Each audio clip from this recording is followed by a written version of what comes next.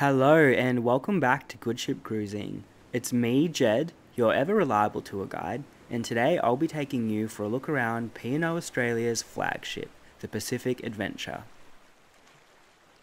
The Pacific Adventure was previously the Golden Princess, however she was transferred to P&O Australia in 2020 and received a large-scale renovation in 2021. The Adventure is 290 metres long, features 13 passenger decks, and has a capacity for around 2,600 guests. But enough chit chat, let's get this tour rolling and head aboard the marvellous Pacific Adventure.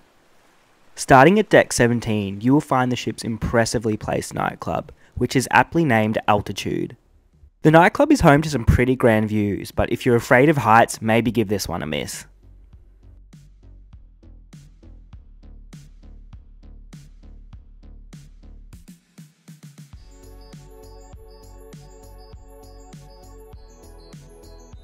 Located at equally dizzying heights is the ship's sports court on deck 17.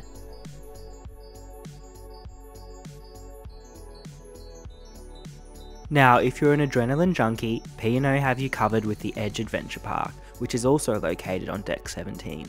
Here you can find rock climbing, a ropes course, and even a large flying fox. These activities aren't for the faint of heart though, and just thinking about the rock climbing has me weak at the knees. Now, if water slides are more your style, the adventure has the amazing Twin Racer water slides. And not only is this fun for the whole family, check out the views from up here as well.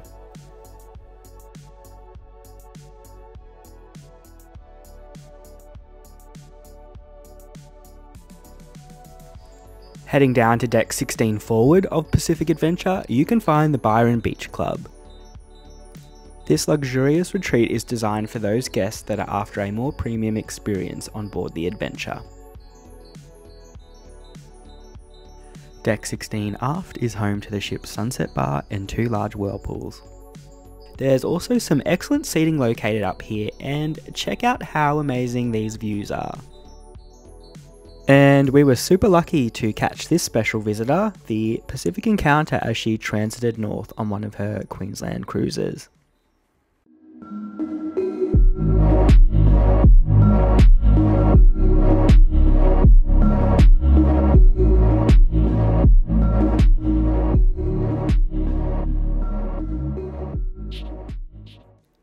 If fitness is more your style on holidays, there is a substantially sized gym located at deck 15. Access is also available to the pool deck of the Byron Beach Club from the fitness centre.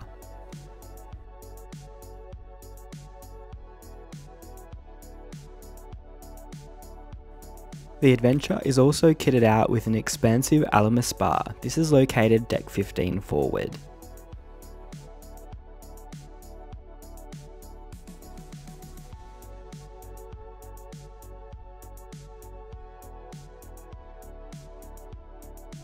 Deck 15 is also home to the Sky Bar and also the big screen under the stars.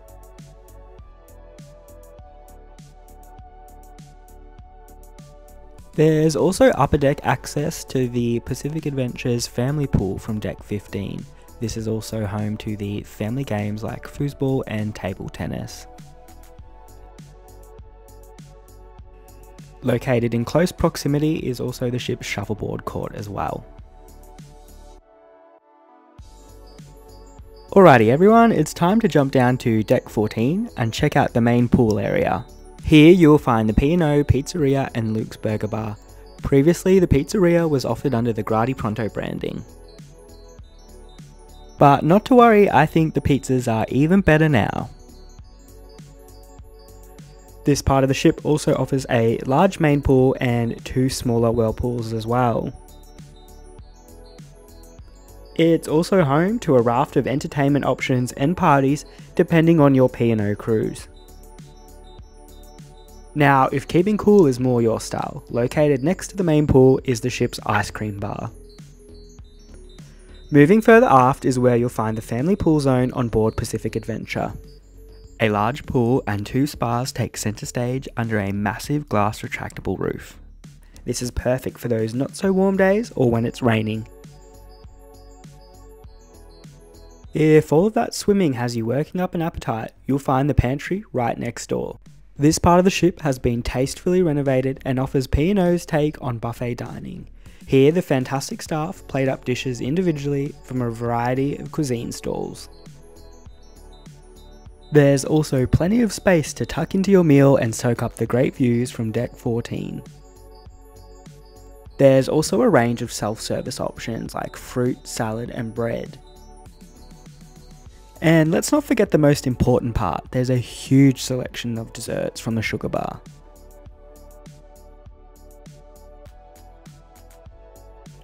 Overall, I think this is a great concept and it really does have its advantages over a regular buffet. There's also hot beverages and water available at all times in the pantry. This is complimentary as well. One of my favourite parts of the ship is the Oasis Adults Only Retreat, located at the aft of Deck 14. This is home to a substantially sized swimming pool and some lush looking day beds. There's also a huge Oasis bar for when it's time to rehydrate.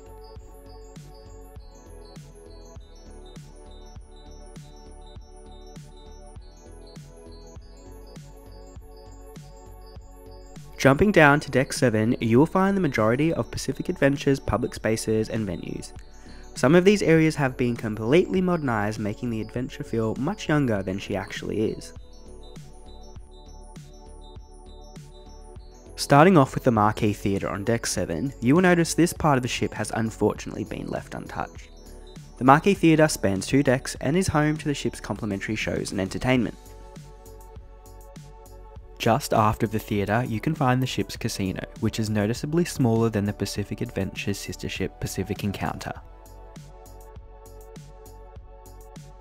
In the very heart of Deck 7 is the beautiful central atrium that has been given a light makeover, and her Princess Cruises roots are still very evident here. On deck 7 of the atrium, you will find a variety of retail options, which even includes a Pandora charm store as well. There's also the beautifully decorated ocean bar, which leads to an expansive promenade spanning the length of the entire ship.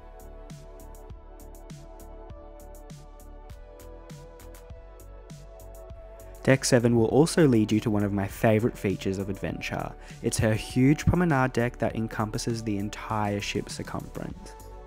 A promenade deck like this one is becoming a rarity these days, so I really appreciate the fact that Pacific Adventure has her very own beautiful wraparound promenade. And when I say wraps around the entire ship, I really mean it. You can do an entire lap from bow to stern completely uninterrupted. Up next, we have the Adventure Hotel, which has been completely revamped and offers a contemporary Australian pub experience. This venue is used to host trivia, karaoke, and live music. P&O did a really excellent job redesigning this part of the ship. I just wish this design had have carried over the entire ship, that would have been great to see.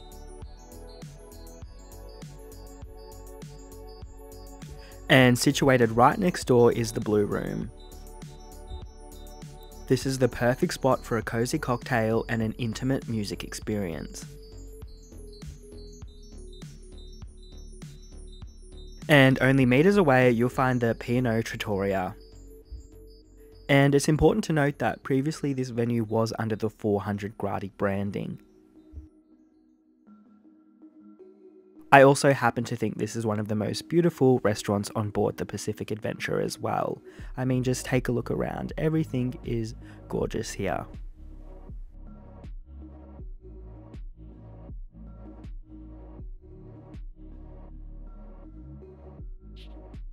Making your way towards the aft of the ship, you'll find Black Circus.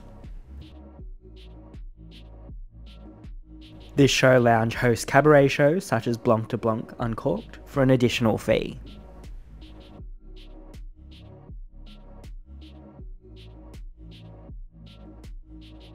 Alrighty, let's jump down to deck 6 and continue our tour from forward to aft. Once again from this deck you have access to the Marquee Theatre and moving towards midships, you'll find Luke's Bar and Grill, which is an a la carte dining option on board.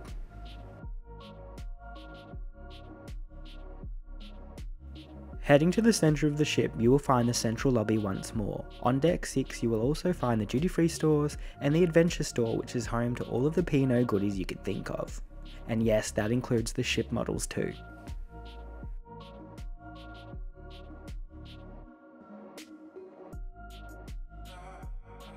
If you need any assistance from guest services, you will also find reception centrally located in the lobby on deck 6 as well.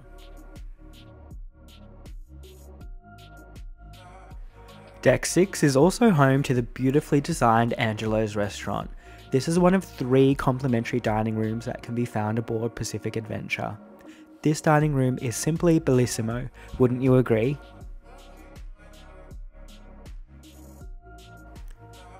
And only a short stroll away is the Asian inspired Dragon Lady restaurant. Now, it's super important to note that you can only access Dragon Lady from the aft lifts and stairwell, as the main galley is in between Angelo's and Dragon Lady.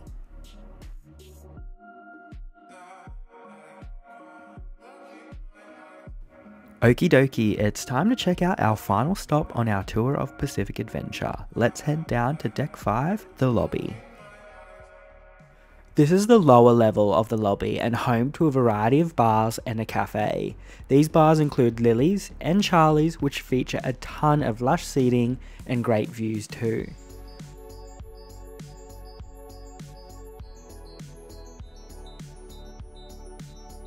The Avalon Cafe has all of your caffeine needs covered as well.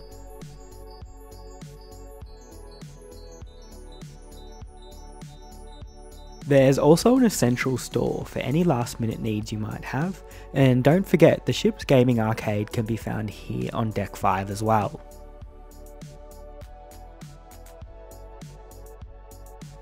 If you have any shore excursion queries, you can also check out the Destination Lounge which is found on Deck 5 too. Now last but not least, it's time to check out the Waterfront Restaurant. The waterfront dining room is the most subtle out of the three complimentary dining rooms on board, and it serves a range of contemporary Australian cuisine.